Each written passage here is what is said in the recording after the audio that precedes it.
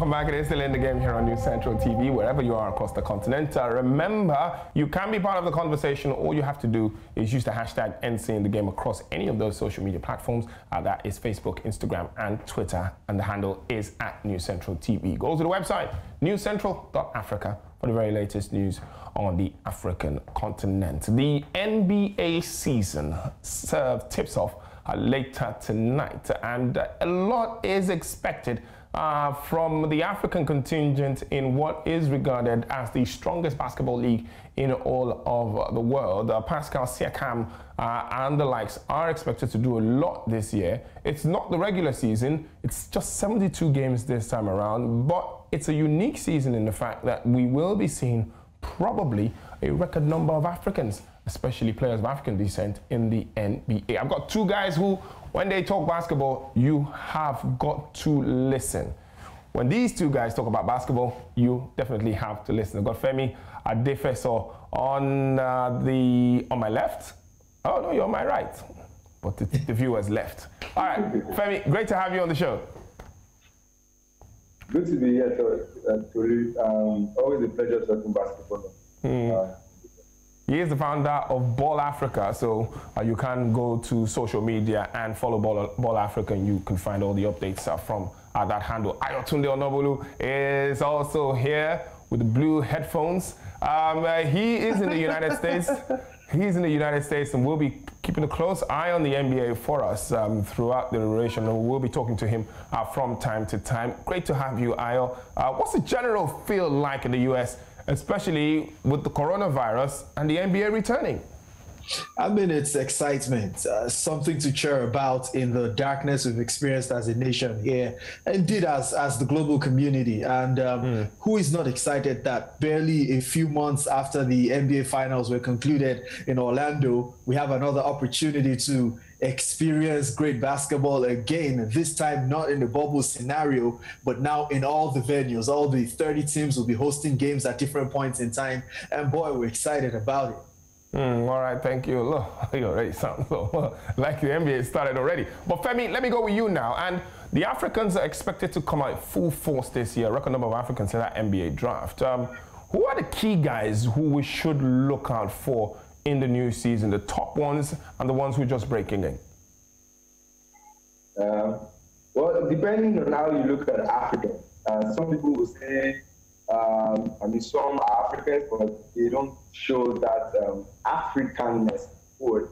Uh, so you might not want to pick them in the bunch, but I think Giannis Antetokounmpo um, back-to-back MVP is surely the number one on the chart as you watch out for in terms of the players to see. To see Pascal Siakam as well.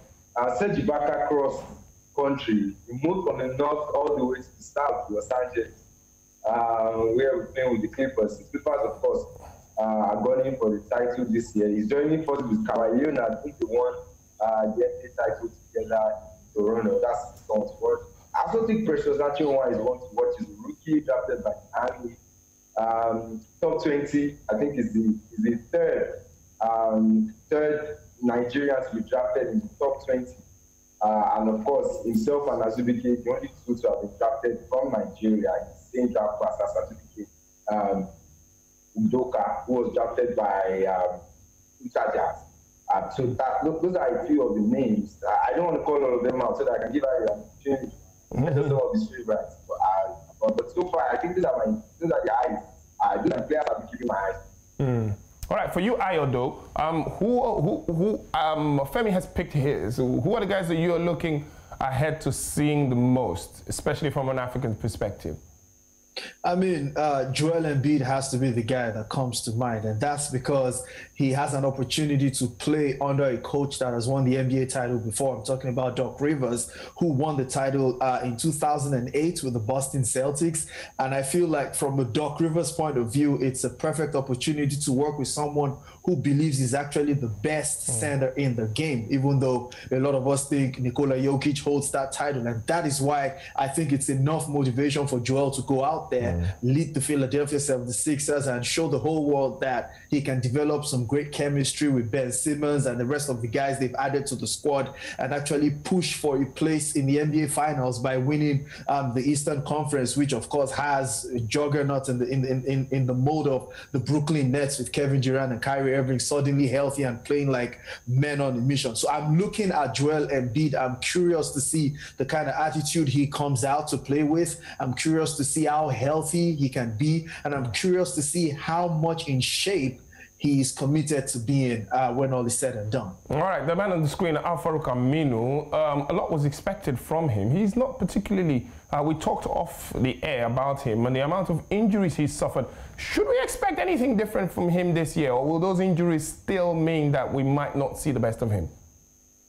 I mean, for Al-Farouq, uh, he, he he recently just had another procedure on his right knee, and so Orlando says he, he plays for the Orlando Magic, and they said he will be out indefinitely. Oh. So we don't even know when he's going to return to action, when he's going to get an opportunity to play with the guys in Orlando. So um, it's it's the nature of the game. With injuries, it can swing in anyone's direction at any time, and we just hope it doesn't happen to the people we really care about. But it's unfortunate it will have to, you know support the guys from from the um, treatment table. All right, let me let me talk about one other thing before we actually talk about the guy the, the teams in the NBA this year.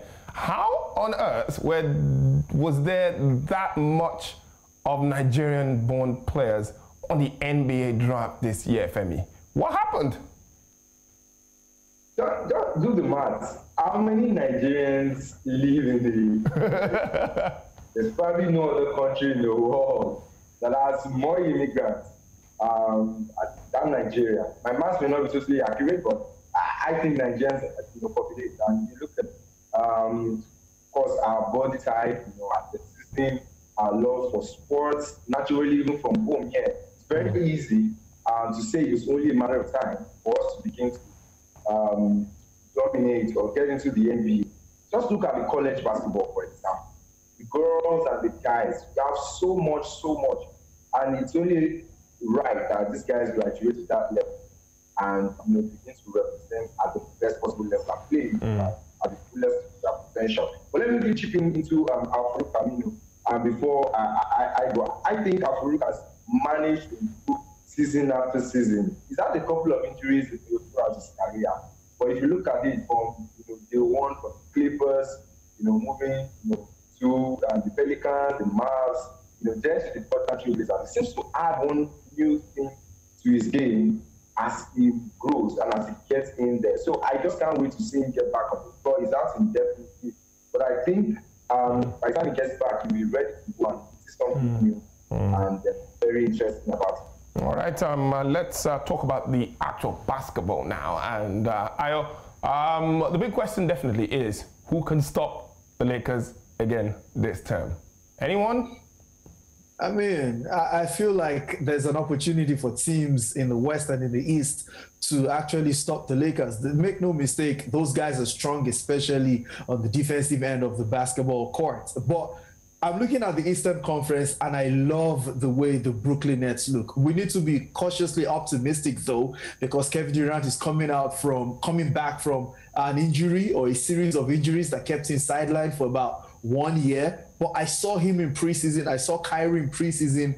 I was absolutely impressed, and I saw the depth in squad for the Brooklyn Nets. And I'm really scared for the Eastern Conference. I'm wondering who's going to stop them if these guys are healthy. I consider them to be great challengers to the Lakers. Another team I'm looking at has got to be the Denver Nuggets. They are young, they are growing together. Uh, they've done a phenomenal job, the front office, in keeping the key guys together Nikola Jokic, Jamal Murray, and so on and so forth. And we have other guys rising up. Michael Porter Jr., Bol mm. Bol will have a great year. He wants to win the Rookie of the Year award, and I think it's a possibility for him. That's a team I'm looking out for. Mm. And of course, you cannot look beyond the Los mm. Angeles Clippers also. It was a disastrous outing for them in the bubble in playoffs. But this time around, I believe Kawhi Leonard, Paul George, they are inspired. And together with the guys working around them and considering mm. the fact that they have a coach who won the NBA title uh, when he had LeBron James in Cleveland. I'm talking about Tyronn Lue it's an opportunity for them to right. right the wrongs of last season. And that's why I think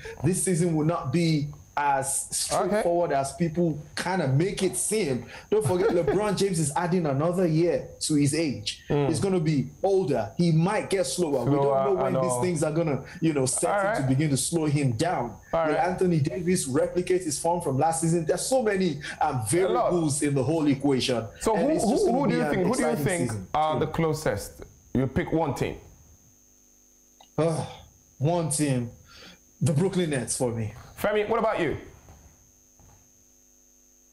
Um, I, I, like the feel of the Miami Heat. I think they learned a lot from last year. Bam Adebayo is coming up big. They have Jimmy Butler, who looks like a leader himself. I think they, are, they have a very good potential. I would also not rule out the Denver Nuggets um, as a team that, that can also upset the cards. And if everything works out really good um, for um, the guys in Milwaukee, um, adding shooters and all, I think they also be mm. very good match from um, result for the Lakers. But the Lakers are still favorites in that question. Mm. All right, I, I, wish we had like even more time to talk about this. We could go on and on uh, talking about this, the NBA, especially with these two guys. But thank you very, very much for coming through. So, as far as you're concerned, though, one last vote. Will the Lakers win again? Uh, my goodness. Definitely, their favorites. I'll, I'll, I'll, say yes. Femi? I'll say yes. Yeah. Will the Lakers win? It's sure good. They've done some good business. Yes, they've done some good business in the offseason. So I, I, I see them as favorites. I All right. It's just to lose, mm. honestly. All right.